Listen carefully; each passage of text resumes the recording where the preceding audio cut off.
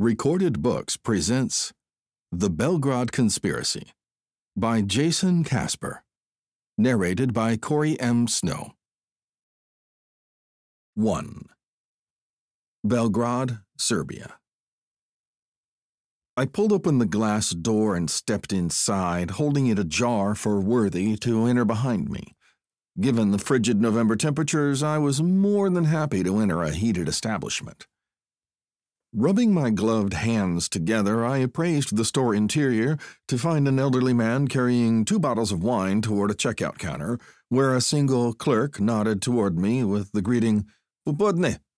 Zdravo, I replied, procuring a shopping basket from a stack beside the door and leading Worthy toward the aisles.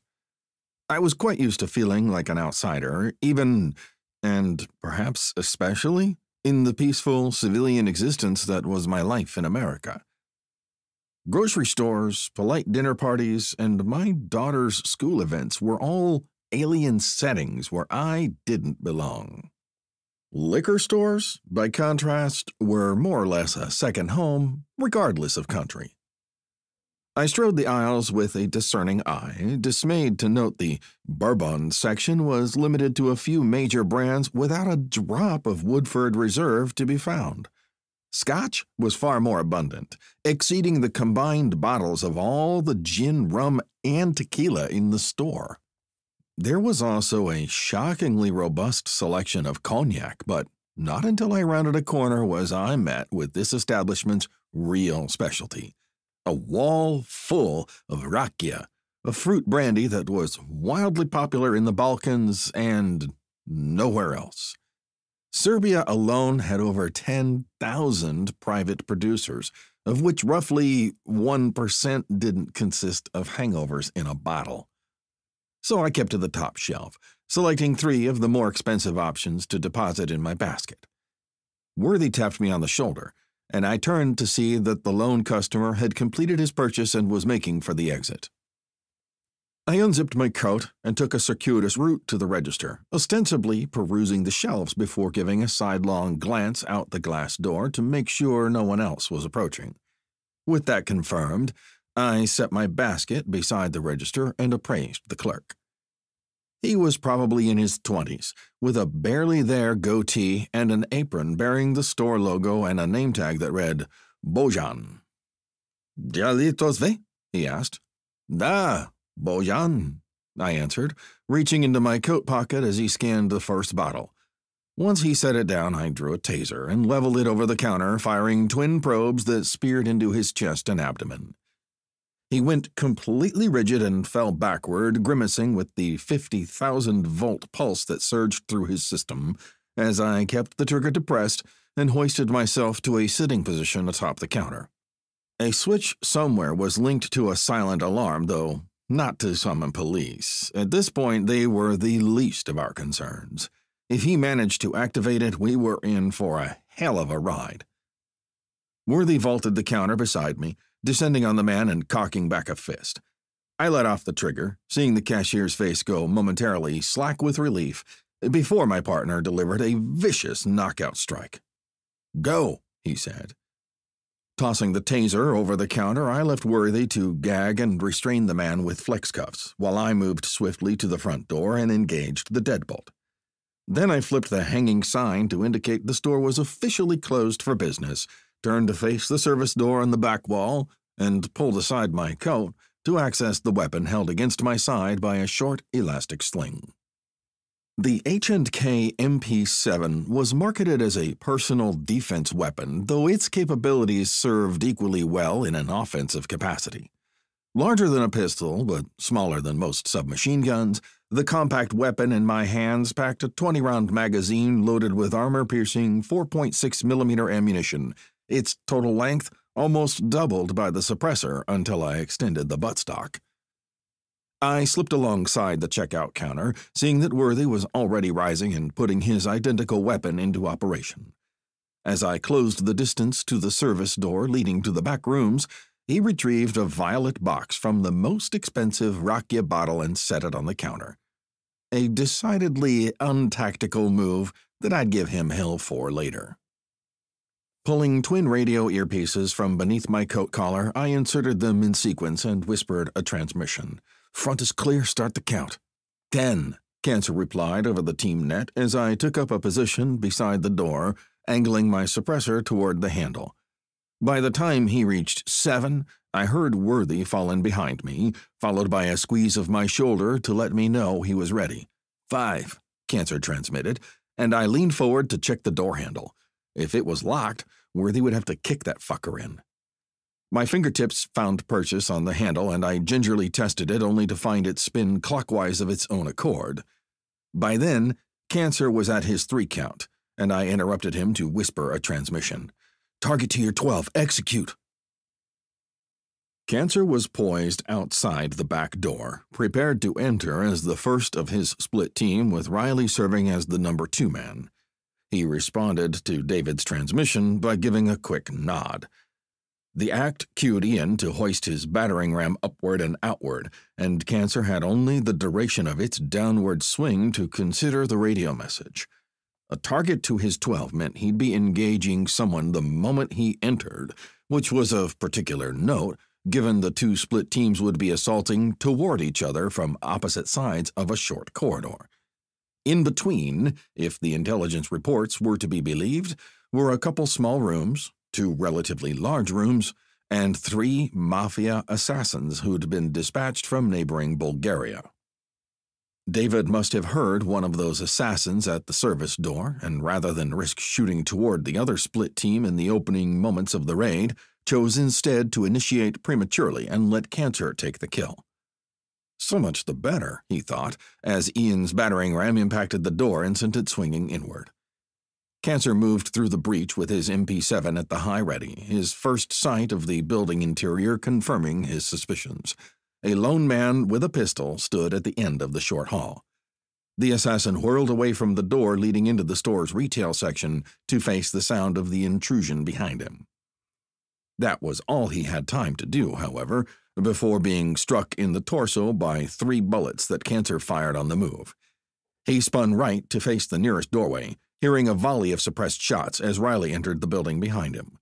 By then, Cancer was already slipping inside the next room, stepping clear of the fatal funnel to visually clear the rightmost corner and sweep his barrel in the opposite direction. The room extended to his front as he proceeded forward, the first obstacle in his line of sight consisting of a round card table. Atop it, he noticed, almost too late, the barrel of an assault rifle being aligned by a big bastard kneeling behind it. Cancer knew, without a doubt, that he was dead, that being first through the door was finally going to cost him, but he fired anyway. His shots were reflexive, virtually unaimed as he continued moving along the wall. He was aware of incoming bullets cracking through the air to his left and hitting the wall behind him when the impossible occurred. One of Cancer's 4.6 millimeter rounds actually struck his opponent's rifle, visible as a spark of metal before the muzzle flash extinguished. And whether the man had stopped shooting due to the malfunction, damage to his weapon, or shards of metal being flung into his face, Cancer didn't know, and didn't much care. Whatever the case, he exploited it by coming to a full stop and shooting four rounds at a distance of just over three meters.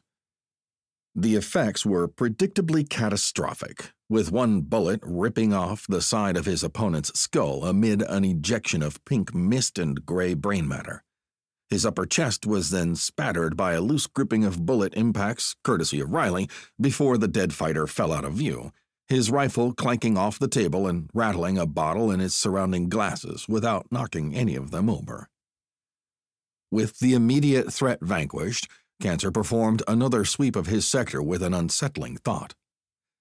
In the game of close quarters combat, where life and death were often separated by fractions of a second and mere inches of bullet trajectories, he'd just prevailed by the hair on a gnat's ass and while he visually confirmed the dead man was their only opponent in the room, the clearance wasn't over yet. They were now eight seconds into their raid, with two Bulgarian mobsters down and a third still at large inside the building. Cancer spun to lead his split team's clearance effort, only to find that Riley had beaten him to the punch. The hulking medic was already making a right turn out the door. Riley entered the corridor in time to see Worthy vanishing through a doorway on his right. He hastened to follow, having only a moment to observe the dead mobster sprawled before the threshold, leading to an enormous selection of liquor in the retail area. Then he was hooking right through the next doorway into a long storage area lined with tall shelves supporting neatly packaged cases of booze and wine. David was ahead of him and moving between the shelves, clearing with his MP7 as Worthy did the same. When the two men lowered their weapons in near unison, Riley knew the room was a dry hole. He reversed course to the corridor, taking up a position by the doorway to see the two remaining rooms on the far wall. To his left, an office where Cancer and Ian were completing their clearance, and to his right, a closed door. Riley knew from the floor plan that the latter was the building's lone bathroom, and felt with growing certainty that the missing Bulgarian had picked the worst possible time to relieve himself. And while he'd very likely gone there unarmed, Riley wasn't taking any chances. He'd barely taken aim at the door when a shotgun blast rang out and the wood panel was suddenly chipped by a cluster of small holes. He dropped to a knee amid the hissing pings of buckshot pellets ricocheting in the corridor, squeezing off rapid trigger pulls as fast as he could.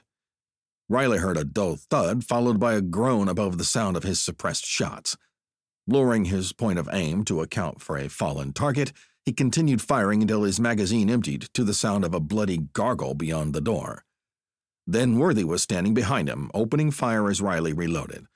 By the time his weapon was back in operation, all firing had ceased, and Cancer moved beside the bathroom door, flinging it open to reveal a prostrate figure who'd fared far worse.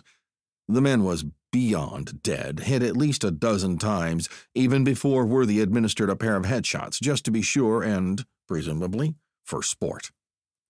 Then Riley felt a hand on his coat collar as the point man behind him said, Come up. He rose in time to hear David announce, Clear. Transition to search. Ian plunged into the room that served as a staging area for the three man hit team, now deceased. He let his MP7 hang on its sling, freeing his hands to retrieve a folded satchel from his coat pocket and pull the strap over his shoulder. The space was not unlike any number of safe houses that Ian's team had occupied over the years. Luggage and sleeping bags were piled into a corner, while a small table ringed with chairs held playing cards, drinking glasses, and a half depleted bottle of rakia. Between them was the dead mobster Ian passed now, before dropping to his knees at the pile of luggage and casting aside the sleeping bags smeared with fresh blood and brain matter to begin his search. Unzipping the first duffel, he upended it and shuffled through the contents clothes, toiletries, a bottle of cologne, before moving on to a carry on bag. In addition to personal effects, this one held a trio of 9mm pistols with suppressors, all of them intended for a hit that, absent his team's intervention just now, would have occurred the following evening. Promising, he thought, though still not what he was looking for. Then David transmitted an unfortunate update that could have only come from the finest communication intercept efforts the CIA had to offer. Someone got a call out. Mafia shooters will be coming through the front door in three minutes. I want us gone in one. Ian heard footsteps beside him, presumably Riley as he carried out his assignment of photographing the dead men's bodies.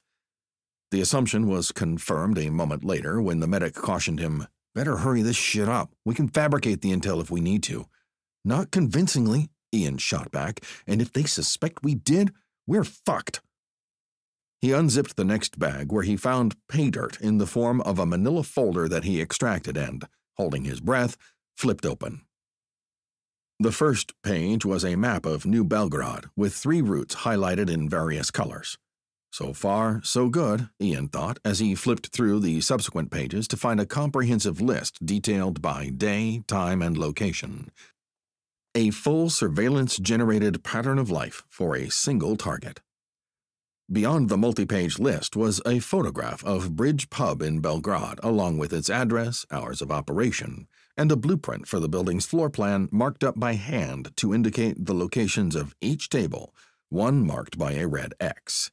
The next page had photos of a group of men sitting at that table on various nights, judging by their changing wardrobes, and Ian flipped it over to see everything he'd hoped for. The photograph was outdated, an old mugshot, but the man in it was unmistakable. Sunken cheeks and a trim beard marked his narrow face, together with almost eerily light blue eyes. Beneath the photo was his name, Branimir Gudelj, and a host of personal information. Got it, Ian called, flipping the folder shut and stuffing it into his satchel. Worthy was tucked behind the doorway leading into the retail portion of the liquor store, aiming his suppressed MP7 at the main entrance, in anticipation of mafia hitmen bursting through it at any moment. Instead, he heard David transmit, Exfil, exfil, exfil. Then the sound of running footsteps behind him as his teammates moved down the corridor on their way to the back door. Worthy held his position, standing as the only shooter covering the withdrawal, until Cancer called out behind him, Move! Worthy hesitated a half second, then yelled back, Wait one! Then he darted into the retail area, making for the item he'd staged on the way and snatching it off the counter. The front of the violet box was cut away to reveal a round bottle of dark amber liquid, the glass emblazoned with the words Slivova Rakia Family Reserve 1989. And he stuffed the parcel into his satchel before racing back to the corridor. Cancer had already replaced him in the doorway, now pulling security and dipping his barrel as Worthy ran past, careful to avoid the blood pooling beneath the first Bulgarian shot in the raid. Then he moved down the hall to the back door and took up a firing position before calling out, Move! His team's second in command did so at once, flowing past Worthy in a reversal of their planned assignments. As he moved, Cancer said, Better be worth it, and then slipped out of view. Worthy remained in place long enough for Cancer to close the distance with their retreating teammates. His last glimpse of the corridor revealed the battering ram that Ian had deposited just inside the doorway in the event its services were needed further inside the building, and there it would remain. There were precious few advantages to operating in a city with a full blown mafia war in progress, but the element of plausible deniability couldn't have been much better. With weekly killings between various mob factions, the Belgrade Police Department would have little reason to suspect a covert CIA paramilitary team was operating within their jurisdiction. The survival of a young cashier with no real mafia affiliation was perhaps the only calling card that the Bulgarian assassins were dispatched by men with a conscience. But there were lines his team simply didn't cross when they could avoid it. Then Worthy collapsed the buttstock of his MP7 and tucked the diminutive weapon beneath his coat before pulling the back door shut and exiting the building into the frigid air. He moved left over a surface of crumbling asphalt, following Cancer toward an overgrown tangle of brush surrounding a cinderblock wall. The rest of his team had already moved past it, negotiating a trampled section of weeds that, judging by the discarded bottles and cigarette butts, was traversed by teenagers well after business hours. Worthy tried to look casual as he moved. Vehicle traffic aside, several vantage points in the surrounding buildings overlooked the rear parking lot, and judging by the fact that police were yet to be notified, there was no reason to invoke further suspicion by sprinting away from the bloodbath. Instead, he pushed aside the dried brambles of thicket and ducked underneath to find the gap in the cinder block wall. Slipping through it and out the far side, he entered an alley between a church and a laundromat. The Opel Vivaro parked there was like an American minivan, but far uglier, generating misty clouds from its exhaust as Cancer ducked in the open passenger side. Worthy followed suit as the last man inside the vehicle, which was already pulling away by the time he managed to close the sliding door. Fleeing the objective in a hideous minivan wasn't the most glamorous escape he'd ever been a part of, but some indignities were well worth it. He reached into his satchel to procure the box before setting it on the center console. Got your 1989, he said. The driver gave a momentary glance toward the package giving Worthy time to take in the profile of her face. Jelena Bradic wasn't just beautiful, but drop dead gorgeous, as were all too many of the women he'd seen in Belgrade thus far. Between her high cheekbones and hazel eyes, to say nothing of her impossibly full lips, Worthy had to take pains not to stare during their interactions. And here she was, driving a getaway car for a hit team with the possibility of police interdiction and or attack by one or more vehicles filled with gun-toting mafia men, and her hair and makeup were nothing short of impeccable. She turned her gaze back to the road, leaving him with a view of glossy brown hair descending in waves past her shoulders. Then Jelena responded in a Serbian accent that was equal parts sultry and businesslike. I was joking about that, but voila, just the same. No more words were spoken as she spirited them through the streets of the Savski Venac municipality of Belgrade. While not without its challenges, the daylight raid had accomplished its stated aim, and for the time being they were free of pursuit. Whether that status held firm remained to be seen and Worthy scanned out his windows for any sign of police or mafia intervention as his team leader transmitted a situation report to Duchess. 2. CIA Headquarters, Special Activities Center, Operations Center F2. Raptor 9 1, this is Suicide Actual. Duchess eagerly seized her hand mic Unlike the team's previous mission, no unmanned aerial vehicles kept her informed with real-time video feeds. This is Raptor 9-1. Send it. David Rivers sounded far more self-assured than she felt at present. Objective complete exfilling now. Your intel was solid. 3 EKIA, Gudelj target packet recovered, one civilian restrained and left on site. Understood, she said. Be advised, police response in progress, no vehicle description over the scanner, and I'll let you know if that changes. We'll be standing by for a scan of the target packet. Nice work out there. Good copy. Suicide Actual, out. She hadn't finished setting down her mic before calling out, Still clear? Duchess had spoken louder than she intended, her voice silencing the muted conversations inside the operations center. Only one voice responded from the tiered workstations descending toward a wall of screens before her, the communications officer speaking while holding headphones over one ear. Yes, ma'am. First squad cars are still en route to the objective. No red flags yet. She gave an approving nod, then leaned back in her seat as the dialogue resumed between various staff elements. Normally, the OPCEN was dedicated to surveilling terrorist groups in the team's area of operations. This time, however, their efforts were split between Serbian mafia factions and local law enforcement. A first for Project Longwing, she thought, though her staff had thus far proven admirably up to the task. Seems that went well, she said with muted self congratulation. For a kill mission, a woman to her right agreed, but I would argue that is the least of the team's potential, to say nothing of this program as a whole. Duchess turned to face her considering her response carefully. Meiling Chen was the daughter of Taiwanese immigrants, yet spoke with a neutral American accent. Her workstation had previously been occupied by Project Longwing's military oversight in the form of one Navy Commander Joanne Brown, serving as head DoD liaison. But her temporary assignment to the CIA had ended, and before a replacement was nominated, Duchess had found herself managing a no notice deployment to Libya. It was the first mission where she'd run the OPCEN without someone looking over her shoulder, a not unwelcome change that was soon followed by one more.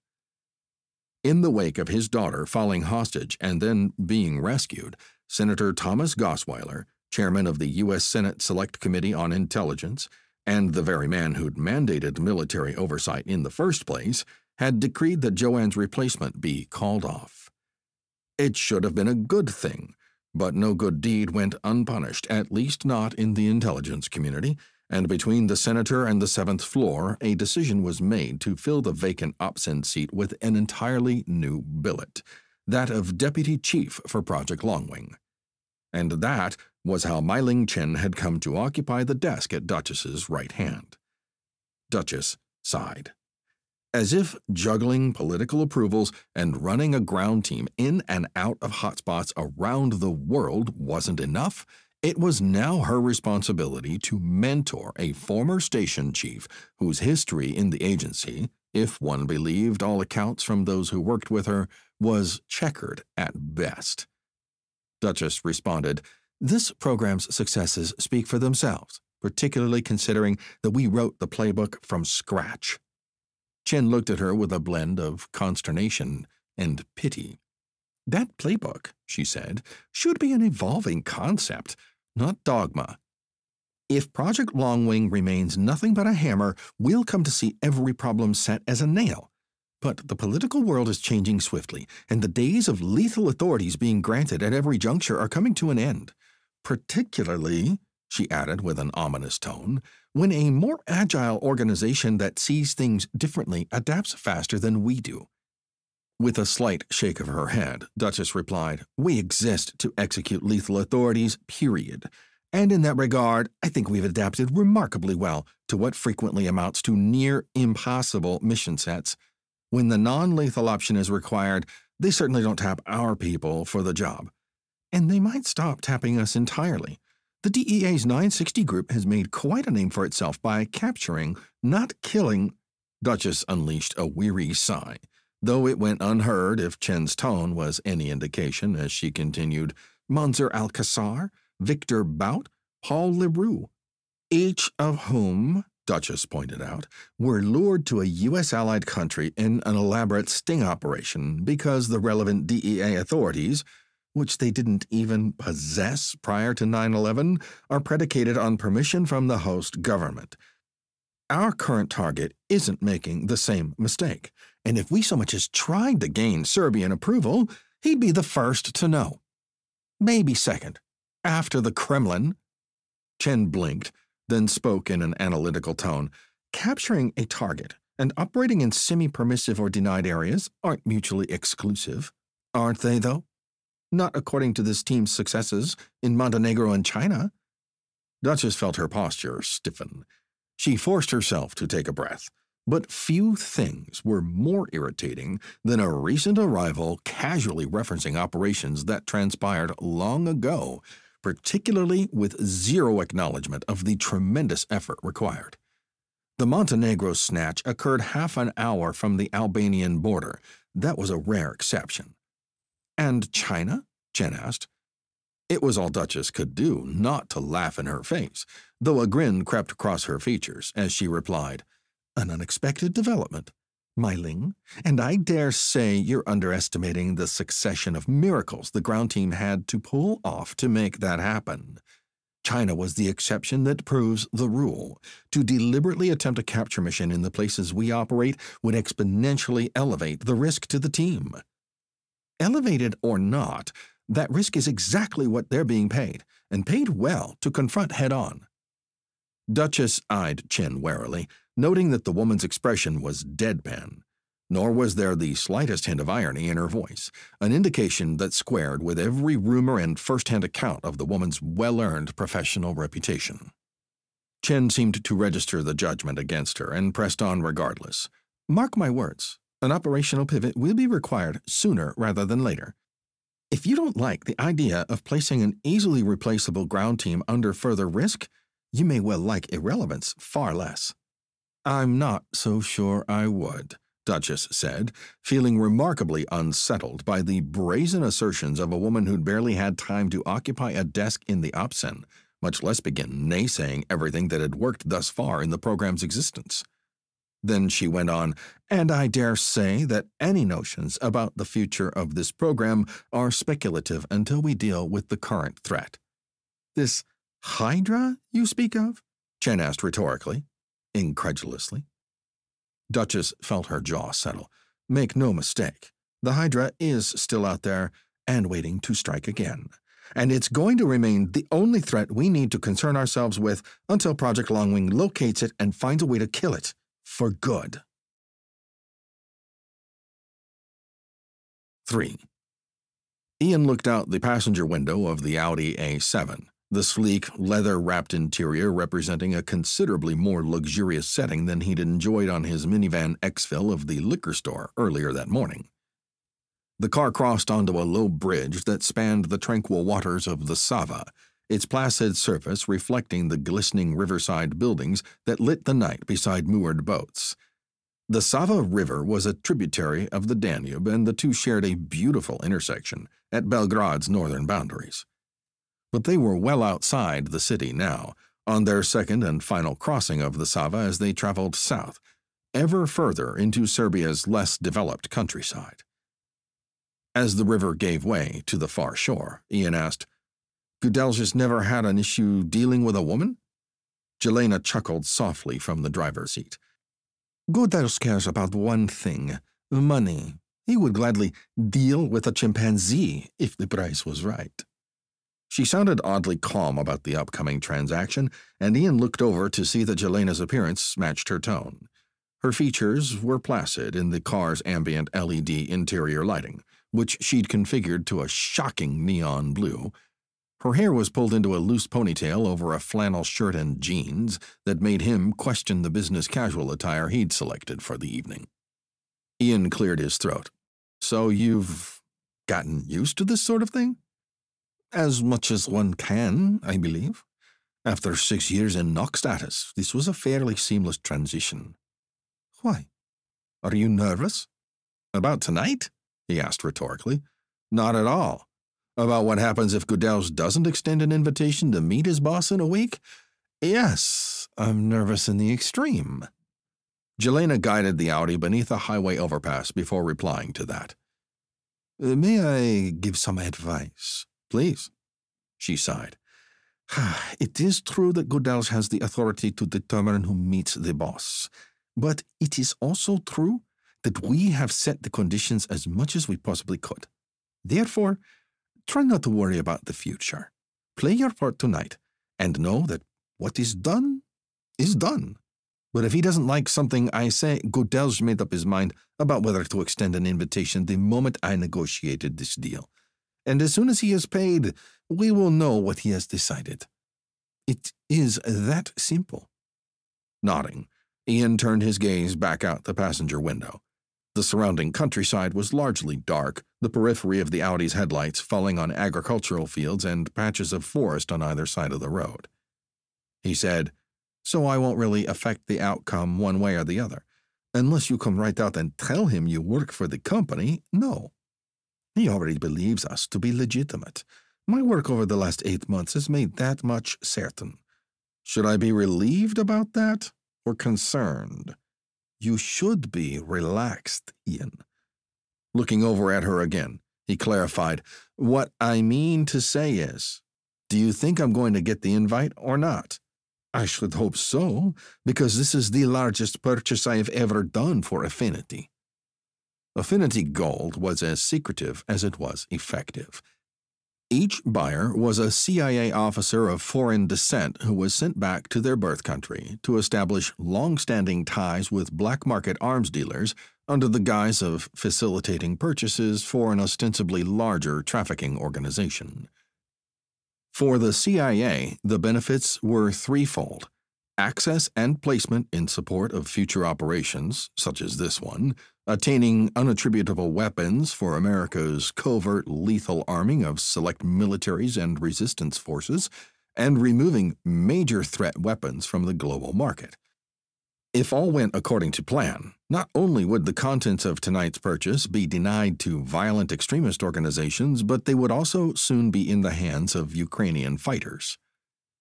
For eight months now, Jelena had been moving up the totem pole of credibility with the Janikari Mafia, whose leadership had been publicly photographed at various intervals with the Serbian president's son, a testament to their extensive state ties. In addition to funneling arms to the Special Activities Center, she'd worked her way ever closer to accessing a reclusive boss who rarely left Russian soil. When the agency linked that boss to equipping the terrorist attack in Cairo four months earlier, his death became the purview of Project Longwing, and, with an Affinity Gold asset in place at the strategic crossroads of Belgrade, Ian's team was sent in to tip the scales toward a face to face meeting and all that would entail. But first, they had to receive an invitation. Jelena continued, and due to the size of this transaction, I feel good about our prospects.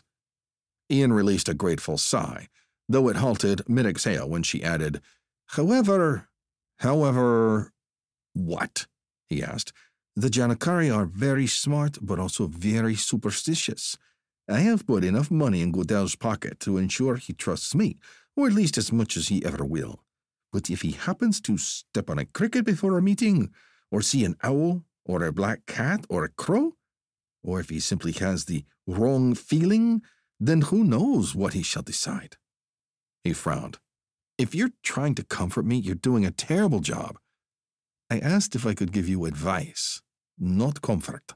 Yeah, he acknowledged. I know. But what happens if he doesn't give us an invitation? One step at a time, my dear Ian.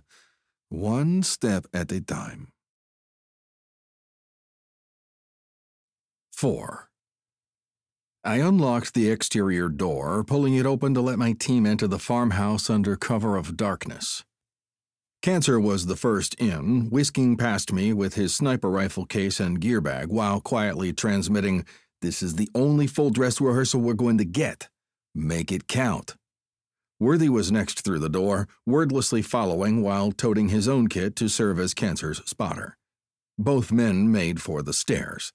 That left Riley, who approached with the motherload of equipment, chief among which was the enormous cylindrical bag slung over his shoulder. I closed and locked the door once he'd passed, lowering my night vision to illuminate the farmhouse in a shadowscape of green hues. Then I moved up the stairs behind my team, hauling a massive hiking pack, and reached the second floor in time to see Worthy slipping inside a doorway to the left. Riley and I broke right to enter a master suite that represented the largest room in the house. Leaving the door open behind me, I moved to the two windows located on the back wall and swung them open on rusty hinges. I turned to approach Riley, who had already removed his HK 417 from its carrying bag. He propped it barreled down against the side of a small dresser we'd previously aligned with the single window overlooking our target area set back just far enough that we could take aim without risk of our barrels protruding. After opening that window as well, I moved to Riley's right side and deposited my own kit in time to see him withdraw a long object from the largest bag he'd carried in. A Carl Gustav 84mm recoilless rifle, affectionately referred to by its operators as the Goose, Carl G, or simply Gustav. Originally developed by a Swedish armament firm whose name became synonymous with the weapon itself, the Gustav had long been the rocket launcher of choice for special operations forces and, more recently, standard issue to some conventional infantry units. It was more or less a modern bazooka, albeit equipped with a laser rangefinder and reloadable with an imaginative variety of rounds, one of which I prepared now. Riley mounted a short bipod to his Gustav, then hoisted the launcher's bipod atop the dresser, cocking the enormous weapon before he took up a firing position with his hands on the twin grips. Load, he said. I reached atop the Gustav and grabbed the rearmost of two spherical knobs, pushing it forward and rotating the hinged breech counterclockwise. Then I retrieved a high explosive, dual purpose round that was set to detonate on impact and slid it into the launcher closing the breech and confirming it was locked with a slight rearward pull on the knob. Ready. Riley took a moment to confirm his point of aim through the thermal sight. All right, we're good. Gustav set, I transmitted. Cancer's response came a few seconds later.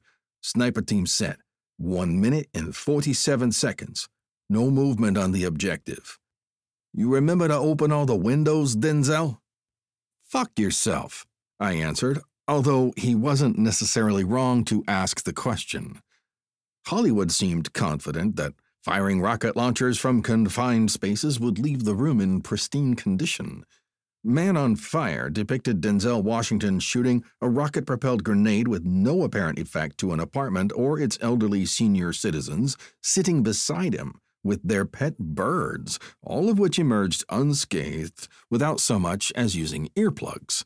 But the reality was that if Riley fired the Gustav, whatever backblast wasn't channeled out the doorway or windows would fill the room with blazing smoke, debris, and the tooth rattling blast of overpressure. We'd done what we could to mitigate that, selecting projectiles that would launch with a minimum of backblast and fly clear of the house before their rocket motors fired to take them the remaining distance to their target. Riley let the Gustav rest atop the bipod, then lowered his night vision to scan out the window. This seems almost too easy, doesn't it? For us, sure, but I wouldn't want to be Ian right now. Other than the uncertainties inherent in any undercover role, this entire mission was shaping up to be a slam dunk. Of the acceptable firing positions we'd identified among the various structures surrounding our target area, the agency had simply found one to buy, not just the farmhouse, but the five acre lot it rested on. It had made the purchase through a front company long before we'd actually boarded a plane for Serbia. We'd conducted a single dry run prior to this, getting eyes on our target area and identifying the specific locations for each shooter. But there had been no reason to risk toting weapons inside until tonight, which was our only chance for a full scale emplacement prior to returning for the actual hit. And while full on site rehearsals such as this were an exceedingly rare luxury in our line of work, the hassle was justified by virtue of Ian and Jelena entering the target area. Ideally, they'd conduct their transaction without issue, but if it turned out to be a trap of some kind, then those two would need every ounce of firepower we'd brought in with us. Even that might not be enough to save them. Worthy transmitted from his spotter position. All right, boys, let's buckle up for a long, cold, and boring night. Yeah, I agreed. Maybe we should have brought some rakia with us. Worthy went silent at that, sensing the inevitable.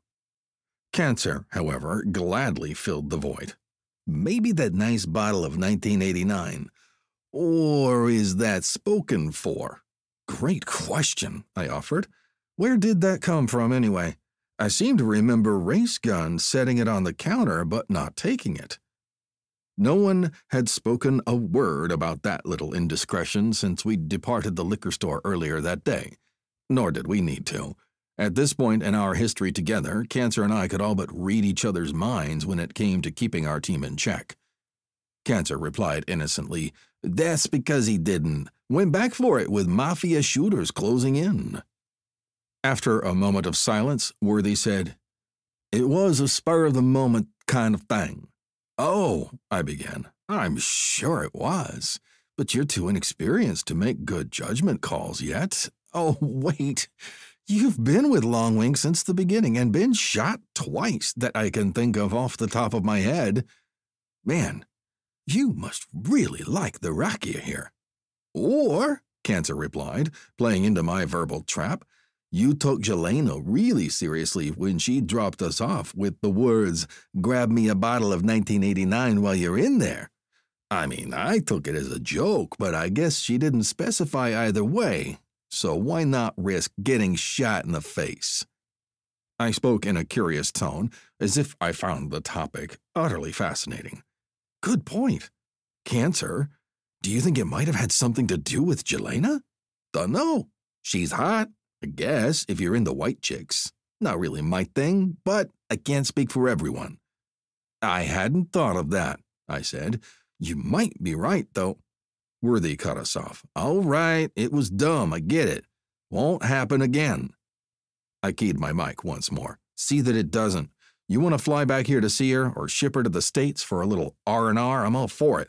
Hell, I'm not going to ask any questions about what goes on after business hours while we're in Belgrade, so long as the mission comes off without a hitch. But I've got to be honest, Race Gun. When I heard we'd have to work with a female here, I thought it was Doc I'd have to worry about, not you. Meh, Riley replied, transmitting for the benefit of the sniper spotter team across the hall. Jelena's all right, I guess. Nothing to write home about. Worthy sounded incensed. All right. Christ, Doc, I watched you lose your mind over a Colombian prostitute a few missions back. Isabella was a sex worker, Riley objected. You're not supposed to call them prostitutes anymore. Whatever. I felt my phone buzz in my pocket and pulled out a radio earpiece to answer the call. We're all set here. Good, Ian replied. We'll be there in 40 minutes. See anything yet? I looked out the window, past the headlights crossing State Road 27 and out to the grassy field beyond. Nothing yet, I answered, then noticed a set of headlights break away from the traffic and turn down a side road toward the field. Another followed in short order. I stand corrected. Looks like the first cars are pulling in now. 5. The Audi pulled to a stop, and Ian waited until Jelena killed the engine to steel himself with a final breath. Then he formally transitioned into the one among them who'd issue all further orders that evening. Let's go. Yes, sir, Jelena replied, and they exited the vehicle in unison, stepping into the frigid night air and retrieving their coats from the back seat. Ian glanced about casually as he donned his outerwear. They stood on a swath of grass beside a small, closed hangar, the headlights of vehicle traffic crossing State Road 27 dimly visible through a strip of trees. He deliberately avoided looking northwest, where in the darkness beyond the road his team surveilled him from a farmhouse acquired for the purpose. Instead, he looked south toward the grassy clearing extending over 500 meters in either direction, almost paralleling the road from west to east. Valjevo Airport was located an hour south of Belgrade, consisting of little more than a landing strip capable of supporting a plane of almost any size, provided it was equipped to operate from unimproved runways. That alone made it an obvious choice for aerial smuggling, where goods could be transferred from vehicle to plane or vice versa, far from the terminals and control towers of larger airports in Belgrade, Niš, and Kraljevo. As such, it had long served a key role for the Janikari, who had meticulously taken over control of Serbia's lucrative status as a weapons hub, connecting Europe to conflict zones in the Middle East, Africa, and beyond. The airfield hosted plane and helicopter flight schools, and while it was overwhelmingly utilized during daylight hours, nighttime traffic attracted no attention from drivers on nearby State Road 27 or Route 150, nor from the relatively few surrounding homes and businesses with a clear line of sight. At present, it was heavily secured. They'd just passed through a checkpoint of three vehicles at the main entrance, where the only two visible men checked their identities and inspected the trunk before allowing them to proceed. Ian knew from long-standing intelligence efforts that many more men were stationed in the shadows, both as an early warning network and to react in the event a competing mafia element, like the new Zemun, tried to intervene in the proceedings ahead. But the only ones he could see at present were a trio of figures approaching from the hangar, none visibly armed. That's him, in the middle, Jelena said. Ian quickly retrieved one more item from a pouch on the seat back, a manila envelope he folded lengthwise, then across its width before tucking it into an interior pocket of his coat, followed by a letter-size envelope he slid beside it. He was zipping up his coat when Jelena appeared at his side, then took the lead in advancing toward the group of men. Mr. Gudelj, she said, allow me to introduce Mr. Cutler. Ian extended his hand as the central man did the same. He was tall and lanky and spoke in a thick Serbian accent. Please, Call me Branimir. Ian had an entire cover legend mapped out for his undercover persona, but only select clues would be parceled out to Gudelj over the course of this exchange, starting with no attempt whatsoever to conceal his American accent. John, pleasure to meet you. When the exceptionally firm handshake ended, he continued, How long do we have at this airfield? Gudelj gestured for them to follow him toward the hangar. Normal operations do not resume until 8. You have all night to inspect the load. I don't think I'll need that long, Branimir. The samples you provided to my associate last week have passed inspection and testing with flying colors, and we've already run a pilot load to test our route. And you don't seem like a man who'd be interested in sabotaging a mutually prosperous relationship. Am I right? Of course, Gudelj responded, his tone accommodating and polite. So far, so good, Ian thought, noting that the two men were flanking himself and Jelena as they proceeded, an overt gesture of protection that was more ceremonial than anything else given the players involved. Then Ian continued, But, Uh, since it's my neck on the chopping block here, I'll need to confirm the quantity prior to loading, along with spot checking the serial numbers. I would expect nothing less and my people have conducted a full inspection at the point of departure and prior to your arrival, so I believe you will find everything in order. Gudelj stopped before the hangar door, pulling it open for Ian and Jelena to enter. The brightly lit structure wasn't much warmer inside than it was outside. Four small planes were parked against the far wall, along with a helicopter sitting atop a trailer. Of more interest to Ian, however, was the Renault box truck that had backed in prior to his arrival, now flanked by dozens of open crates in varying sizes. Ian turned to see Gudelj entering behind him and caught his first good look at the man's face. Gaunt, lined with a well-groomed beard beneath icy blue eyes that crinkled into a forced smile. Here we are, John. Podnos, RG60s, and Strelas, as requested. My men can help with anything you need. Just the loading when the time comes. He looked at Jelena and nodded toward the crates which they approached together. The first set held five 2B14 Podnos mortars, each broken down into its 82 millimeter barrel, baseplate, and bipod assemblies, with a separate case containing the sight units that a crew would need to adjust fire with precision. Together with the one that Jelena had previously obtained as a sample of the full load, they comprised a battalion's worth of indirect firepower, originally intended for Soviet light infantry units. With his eyes on the mortars, Ian said, Model, part number, and year of manufacture for all barrels.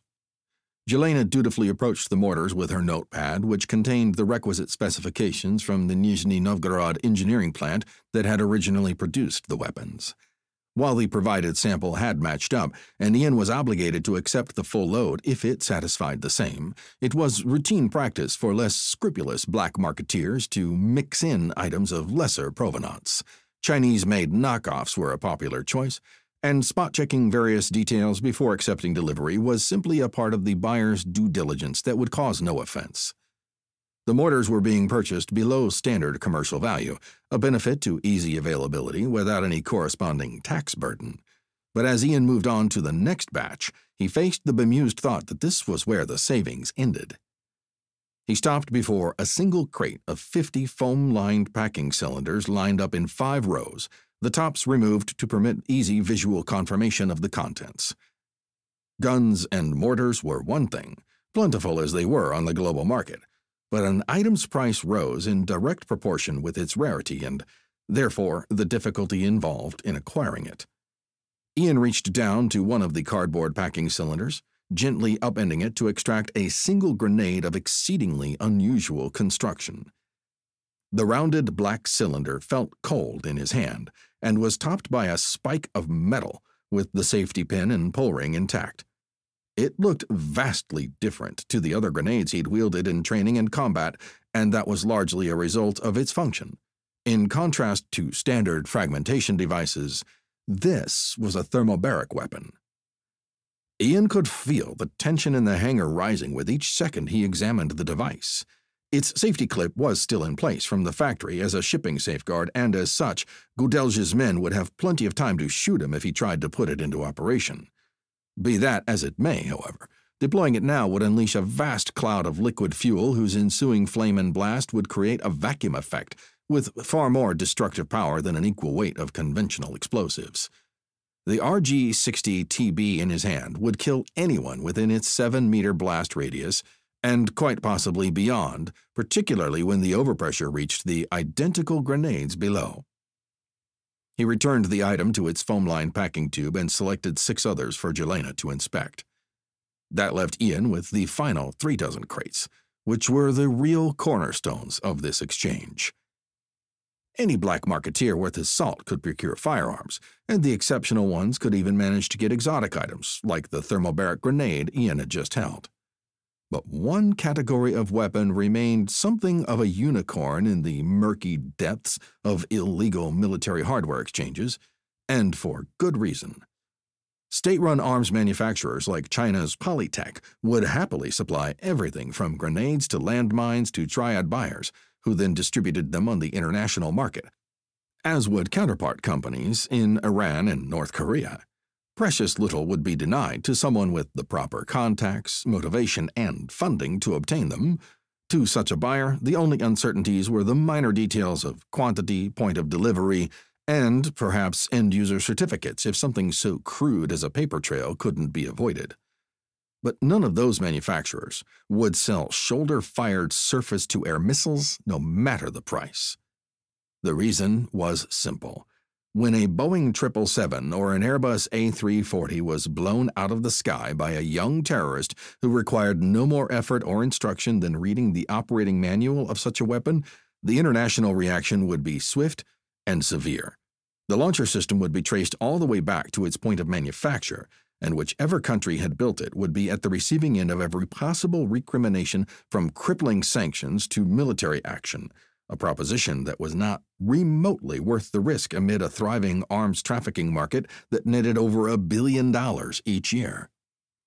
The Serbian mafia, however, which operated extensively on multiple continents, had no such qualms. Their biggest challenge was sourcing the missiles in the first place, which required ties to Russian organized crime with access to Soviet hardware and the means to move it. It wasn't often that product became available, and when it did, a Serbian gangster was usually brokering the sale. Ian smiled as he confirmed the total count, the expression both genuine and unintended, and while Gudelj likely thought it was born out of financial satisfaction, in reality, Ian was almost overcome with gratitude that these missiles would soon be. We hope you enjoyed this preview. To continue listening to this audiobook on Google Play Books, use the link in the video description.